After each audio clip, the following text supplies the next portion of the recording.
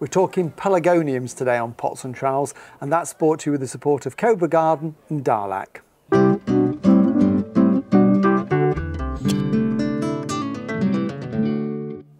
Hello and welcome to Pots and Trowels. Well, as you can see, I'm surrounded by these beautiful pelargoniums at the moment. They are really amazing plants. And to find out a little bit more about them and how to grow them, I'm going to have a chat with a friend of mine who is a leading authority in pelargoniums, and that's Helen Bainbridge. So, hello, Helen. Hi, Martin. Well, these are amazing, aren't they? These are just some of your private collections. So, tell us a little bit about pelargoniums, where they come from, and, and just a little bit about the many types of pelargonium. Mm. Well, pelargoniums originate from South Africa, but all the ones that I grow are pretty much hybrids rather than um, species mm. varieties. But yeah, they're fantastic, really free flowering, really vibrant colours. They come in all different types. We've got the regal varieties. Okay, so regal which is... Which is this one here at the front. Yeah. They're um, short flowers, really fluffy, full flowers, bright colours, carried on short stems, and they're really free flowering. There's the unique pelargoniums. These were introduced in the Victorian period. Really, again, free flowering, will take lots of sun. Um, the zonal pelargoniums, this is a basic zonal, Sophie Emma, which is a super salmon flower, really pretty. Is, is, that what you would call a double as That's well? a double flowered right, one, yeah, okay. they're stunning. Flowering, really free flowering. They're also good in houses, good in conservatories. They will take the heat of a, a yeah. conservatory. Um, there are the netted zonals with these lovely um, veined leaves, which are really attractive, single flower on that one. And the zonal refers to the fact that some of them have a sort of a darker marking yes, on the leaf, they've got it? a horseshoe zone um, in the leaf. That one doesn't show it very much, but no. some of them oh, do have a darker... Does here, doesn't it? If we yes. look at that one there, yeah. we can see there that the leaf has just got this darker the area horseshoe. there. And some are much more pronounced than that as That's well, right. They? So, yes. Okay, so we've got pelargoniums, regals, we've got zonals, We've um, got miniature zonals, Martin. Have you seen these? These are amazing. This is a tricolour miniature, and it's the tricolour means three colours: green. You've got a pink, red zone in there, and then a cream outer edge. Little See, red flowers. I, when I saw that earlier, I thought that was a cutting you'd take. So that, that how big will that get? That miniature? That will should stay in a nine centimetre pot for about two or three years. You can repot it and change the soil rather than mm. pot it into a really big pot, but I would expect it only to be in a sort of four and a half inch, five inch pot in right. the next 10 years. Oh, really? So they stay very small. They're great for windowsills right, if you haven't okay. got much room. Yeah. Okay, and then over this side, what have we got just here then? We've got scented leaf pelargoniums, which are stunning, and they come in a whole array of different scents. This one's camphor, camphor Can rose. I smell it? Mm. So it's the leaf that's the scented leaf that's strongly scented. Yes. Oh yeah, it is. Really it? nice. There's nutmeg, there's peppermint, cinnamon, you just can imagine whatever scent you want, and there's a pelargonium and, with that scented some leaf. of them are grown mainly for the foliage, but this one yeah. is. Uh... This one does have a, a massive flower. Um, it's actually it's been so hot lately. It's it's gone out of flower to an extent, but it will keep pushing more okay. buds up and more flowers. And some of them have got really big blousy flowers as well. Some of the scented. Right. Okay. And then we're going on mm. to. I'm just going to move that out the way, and then we can see. This is one of my favourite angel pelargoniums. The angels have little flowers like violas almost. This one's a variegated one, which is really attractive. It's called Old Bridgewet, and it has these little sort of two-tone flowers. So are angels old as well because I, I hadn't heard of angels till yeah know, angels they were introduced in the 1920s early oh, right. 30s they, they went out of fashion and then they've been they've come back but there's been a lot of hybridizing done within the last sort of 20 years right. of them okay so they are really attractive yeah very free free flowering and then down at the front we've got... We've got Stellas here. These are super star-like flowers. Stella means star-like. This is a double flowered Stella and this is a single flowered. And they come in all different colours again, um, semi-doubles, doubles, full size, some miniature ones as well.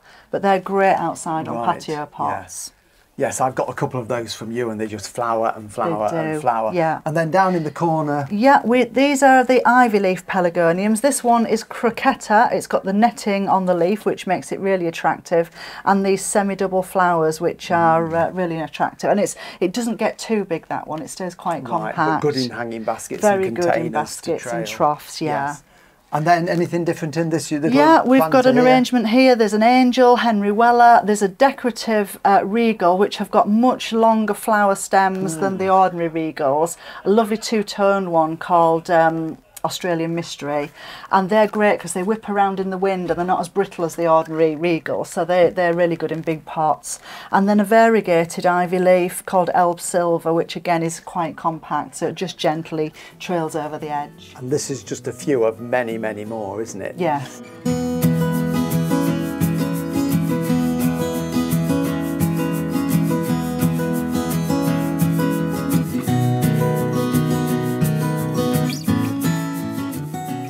So often they're referred to, especially the zonals, as geraniums, but they aren't actually geraniums, are No, they? they're in the same family. They're in Geraniaceae, but all pelargoniums are tender plants, and geraniums, the true geranium, is a hardy garden perennial. Right, so they're a, yes, so They're same totally family, different but to they are at. different. That's Yes, right. Okay, and what about conditions then? Because obviously, I know uh, some of these plants are quite old. You you keep Mm-hmm. them for many many years. So how do we overwinter them? At this time of the year, they're fine outside, but what do we do come winter? So come the autumn, you need to think about bringing them in, trim them back. If they're in containers outside, lift them, repot them into slightly smaller pots, and then trim them back so they're in a nice rounded shape. So you're taking all the flower off and quite a bit of the long growth that they've produced through the summer. So you're cutting them back to just above the old wood, about two to three leaf joints above the old wood. And that's the same for the regals, the angels, Yeah, and the, the that's the same with all and of them. And temperature over winter. above frost above freezing so a frost free greenhouse is fine if you can give them some heat sort of five degrees that's ideal Mm. or a heated conservatory they would love But if you've only got two or three degrees, um, they will tick over. they'll be fine keep them on the drier side and you can also put some fleece over them if it's going to be really cold Because you no longer exhibit at the shows, because you used to exhibit at the Chelsea Flower Show, Hampton Yeah. Court Tatton, Harrogate Flower Shows, and all, all the major flower shows, and won, oh, you know, probably hundreds in total of gold medals. And some of your plants, I remember from your displays, were huge. Yeah. They must have been very old. Yeah, some of our plants were sort of up to 20 years old. We had standards that were 20 years old. And uh, some of the varieties, um, which one we've got here? Bolero, this one here. We used to have plants that were five foot high and five foot across. Wow. Um, so they were really huge and in great big containers, two foot across. So as long as you've got the room and you can overwinter them, you, you know, it's not a seasonal, not a one-year No. plant. You can keep them for many, many years. That's right. And they do become quite woody, but you just cut them back each year Yeah. and repot them, feed them constantly through the summer, and they'll go on year after year. Because they, although we think of them coming from South Africa, we think you know dry, arid, but these are actually quite greedy plants, aren't they? They are. They're really because these are hybrids that have been bred for Hmm. constant flowering, big blousy flowers, as opposed to the species that have Right. got very small, fine, delicate flowers.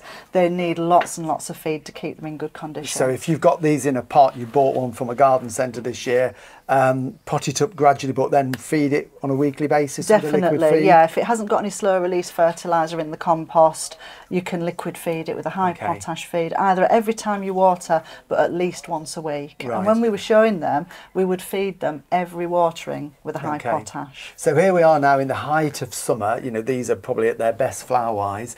Uh, is this the time to start thinking about more plants for next year for Yeah, propagating? yeah, you can propagate the zonal types now.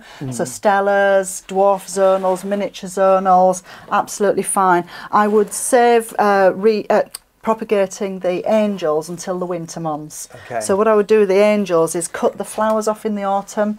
The new growth that comes won't have any flowers or buds. That's the best propagating Yes. material for regals and angels. Yeah, which makes sense because you, you wouldn't get a cutting off that now, would you? No, they just want to is flower. Everyone's flowering, but uh, zonals, stellas Right. are a type of zonal. You can propagate those now, absolutely no problem. So, are you going to show us? This is a, Yeah. a Stella here. Um, are you going to show us the Helen Bainbridge way? this is how you grow your award-winning plants. Of course, yes. And this is when you, you did it the same way when you were growing thousands and thousands of plants a Yes, everything was all the cuttings were taken individually by hand. So firstly, find a stem, a nice straight stem. I'm going to use a sharp knife here and just gently cut through that stem there. You can use secateurs to remove it. So that's our put that cutting there. there. It's got a flower on which we don't want, so just support the, the main stem because they are a bit brittle, some of them, and snap out the flower.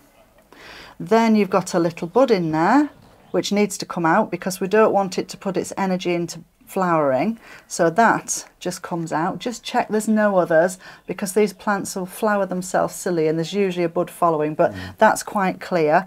And then I'm going to remove these larger leaves until I've just got three left. So there's one, two, three, and a little tiny one just coming in the centre. And that would be the same even if it's one of the larger leaf yes. zonals, it's that's the rule yeah. of three leaves. If the leaves are really huge, I would just leave two. Okay. But for these small leaf varieties, three is right. the standard.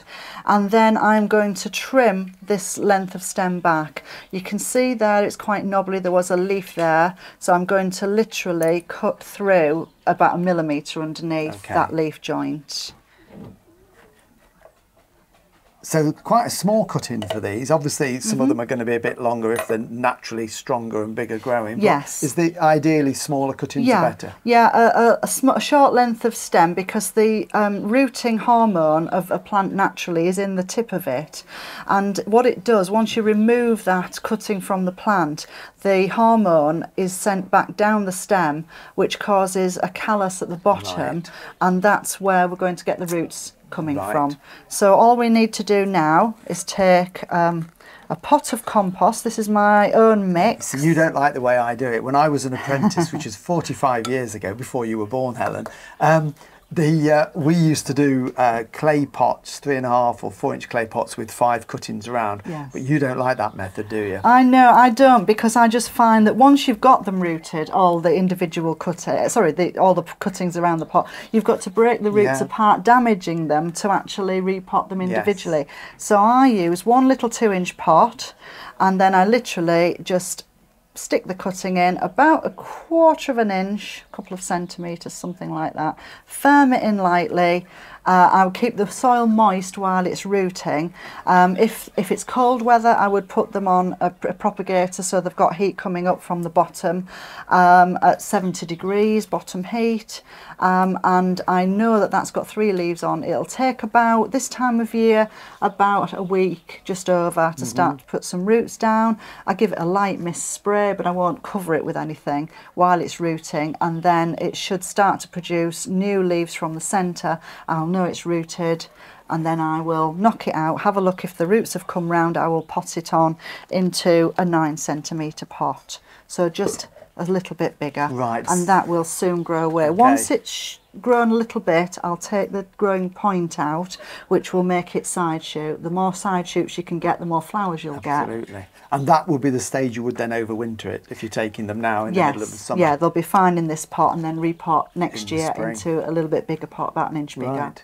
And how long would it take from that to this is the one you took the cutting off. Yeah, that is about two, two and a half years oh, old, something like that. It's a dwarf Stella, so it doesn't get huge. But you would still get a flowering plant next year with that Yes, one. that'll flower. That'll even flower this year. Oh, right. They're really yeah. quick. Once they're rooted and make some new side shoots, they're in flower within about six weeks. Brilliant. Yeah. So it's amazing, really. And, you know, you grow lots of them and, and all these lovely old varieties and keep them going. So it's something people should be growing, shouldn't yeah, they? Yeah, definitely. They're really good value for money. They'll give you masses of flower right through the summer. And the Stella ones, if you've got a heated conservatory or a heated win you know, windowsill in the house in the winter, they'll carry on flowering all winter as well. Wow, can't get better than that. Yeah. Thank you, Helen. Thank you.